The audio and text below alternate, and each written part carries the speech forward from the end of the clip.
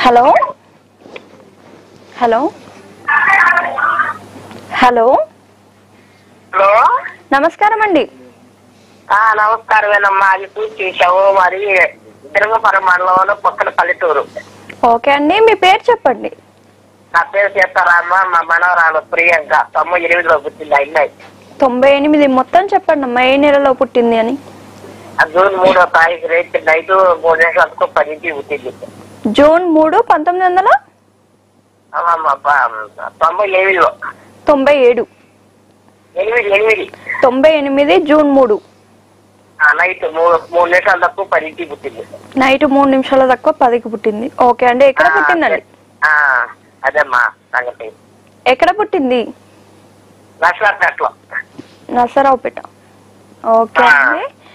ఏం తెలుసుకోవాలనుకుంటున్నారు? అమ్మాయి అదే కళ్యాణం అదేందా అని కొంచెం ఏ- మాకు అయోమయంగా అర్థం కావట్లా దాని గురించి అడుగుదామని. ఓకే అండి గురుగారితో మాట్లాడండి.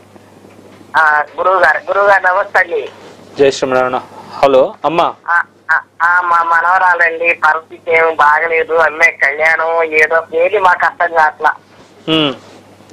అమ్మాయికి ఇప్పుడు ఇరవై ఐదు ఇరవై ఆరు జరుగుతుంది. మరి అమ్మాయి పరిస్థితి ఏందో ప్రియాంక పేరు తొంభై ఎనిమిది పుట్టింది. నైట్ మూడు నిమిషాల తక్కువ జూన్ నెలలో పదికి పుట్టింది. ఉత్తర నక్షత్రం అయిందమ్మా కన్యా రాశి అయితే పతి పత్ని దోషం ఉందన్నమాట. ఎనిమిది ఎనిమిదవ స్థానం మీద కేతు యొక్క పాపదృష్టి ఉంది. దానివల్ల కొద్దిగా సర్పదోషాలు కనబడుతున్నాయమ్మా జాతకంలో. కొద్దిగా స్వల్పంగా సంతాన దోషాలు ఇట్లాంటివి కూడా కొద్దిగా కనబడుతున్నాయి. అది దీనికి సంబంధించి ప్రత్యేకంగా అంటే గనక నాగ ప్రతిష్ఠ చేసుకుని గరుడ కవచ స్తోత్రం రోజు చదువుకోవాలి. నాగ అది తప్ప వేరే సొల్యూషన్ లేదండి. నాగ ప్రతిష్ఠ చేసుకోవాలి. ఇంకోటి చంద్రుడు ఒకటి అవుట్లో ఉన్నాడు. మిగతా గ్రహాలన్నీ కూడా రాహుకేతుల మధ్యలో ఉన్నాయి. ఇవి కొద్దిగా నాగదోషం ఉందండి అది. నాగదోషం రెక్టిఫై చేసుకోవాలి. చేసుకుంటే ఒక తొందరగా వివాహం అవుతుంది. అన్ని పరాలుగా బాగుంటుంది. ఎప్పుడు నవ్వుతూ ఉంటదండి ఈ పాప మాత్రం. బిజీగా ఉండడానికి ఎక్కువ ఇష్టపడతారు.